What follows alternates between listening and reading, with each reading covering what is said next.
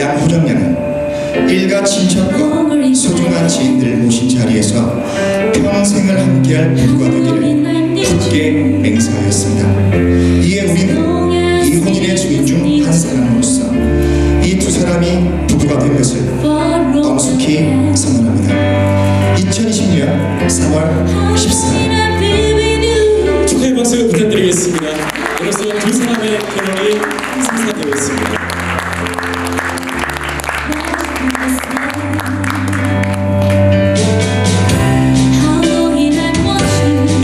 맹세의 증후인 예물 교환의 순서가 있겠습니다. 신랑 신부님께서는 서로 마주봐 주시겠고요.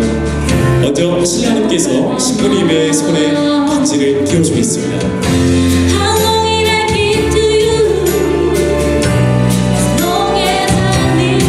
신부님의 손에 반지가 끼워졌습니다. 박수 부탁드리겠습니다. 이제 신부님께서 신랑님의 손에 반지를 끼워주겠습니다. 이렇게 두 사람의 손에 반지가 끼워졌습니다. 여러분 박수 부탁드리겠습니다. 네, 우리 두 사람이 이제 증거-